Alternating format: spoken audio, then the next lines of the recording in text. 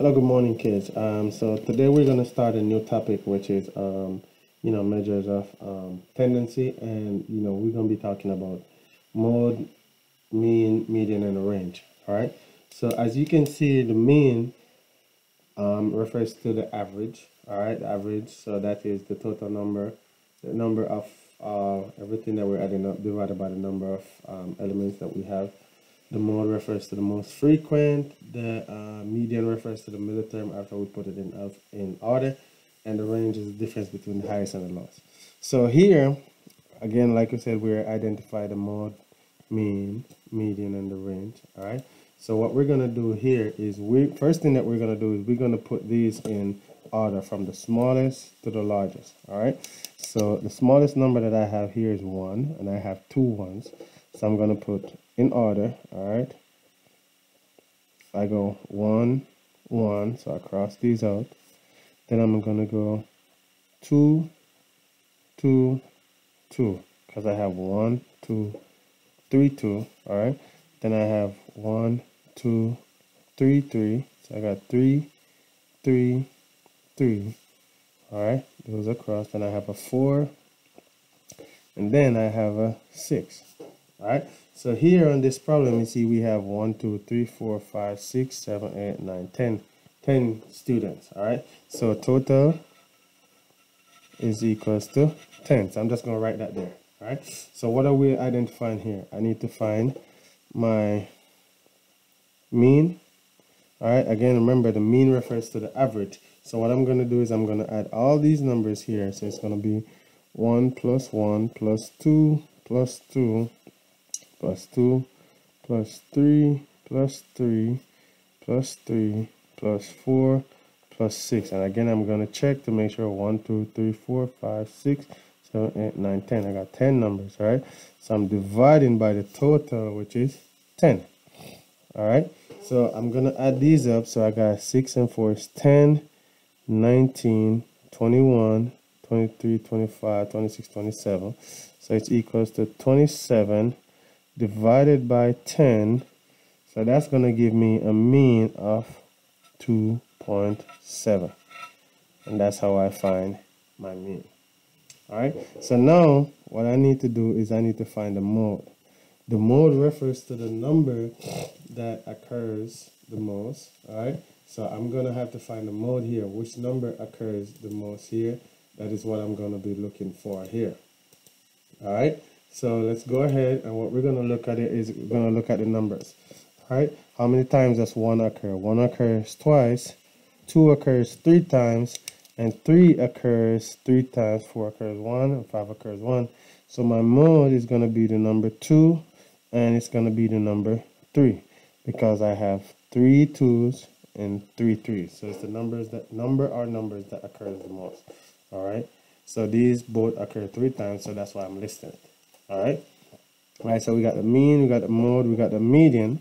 The median refers to the number that's in the middle after you put it in order. So again, let's look at it. What I'm gonna do is I'm gonna go from left to right. So smallest, largest, smallest, largest. All right. And then until we get to the middle.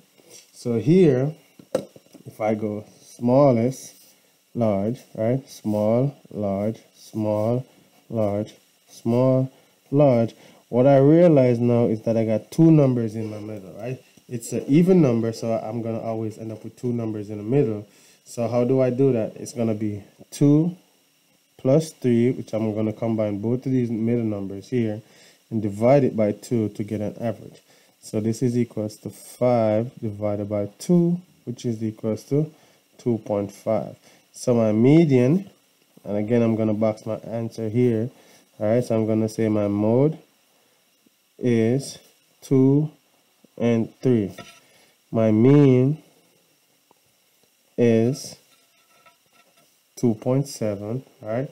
My median represents my median. All right, so now I need to find my range, all right? My range is the difference between the highest and the lowest number. So what's the highest number? Highest number is 6. So it's going to be 6 minus the lowest number, which is 1. 6 minus 1, which is 5.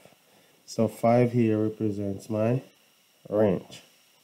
So my range is equals to 5. And that's all we're going to be doing for this lesson. Alright? So let's go ahead and let's look at a second example. Then I'm going to assign you guys some to do on Excel. Alright? So here we have these numbers. Alright? So these are the numbers we have. So I need to, first thing that I'm going to do is I'm going to put them in order from the smallest to the largest. Alright? So we're going to start out with the smallest number, which is 50. So we got 150, and we got another 50 here. All right, so we X that out. Then after 50, we got 450. All right, cross that out. Then we have a 500. Cross that out. Then we have 950. Cross that out. Then we got a thousand. All right, cross that out. And then we got 11,000. All right, so that's going to give me a total of how many? One, two, three, four, five, six, seven. So my total is equals to 7. All right, so first to find my mean, my mean is equal so I'm going to add all these numbers and divide it by 7. So it's going to be 50 plus 50 plus 450 plus 500 plus 950 plus a 1,000 plus 11,000 divided by 7. Alright, so I'm going to go ahead and what I'm going to do is I'm going to go ahead and add these numbers together. Alright, so when I add these numbers together, I'm going to plug it in my calculator as you guys can see here. So I have 50 plus 50 plus 450 plus 500 plus 950 plus a thousand plus 11,000 is equals to 1400 so I got mean is equals to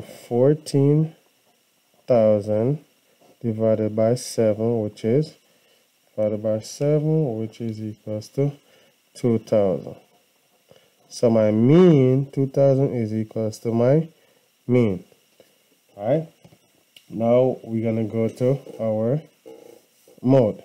All right, or mode refers to, again, remember, mode refers to most, mode most. All right, so which number occurs the most? We only have one of these, but we got 250 so my mode is 50. All right, now we're going to go to median. All right, so median is equals to the middle term. So if we go again, what we're going to do, we're going to cross from one top, one bottom. So highest, lowest, high, low, high, low. Now we only have one. Again, look at it. It's an odd number. So we're going to always have one number in the middle. So my median is equals to 500. Good job. And the last part is my range. Again, remember the range is equals is the difference between the highest, which is 11,000, right? So it's the highest, which is 11,000. So it's 11,000 minus the lowest, which is 50. So that give me a range of 10,000, 10,950. So my range is 10,950. Alright, so that's all what we have to do today. Just go ahead and complete your Excel as well as the um, classwork problems. If you need any help, just come to office hours and I'll be more than happy to help you. Alright, have a great day.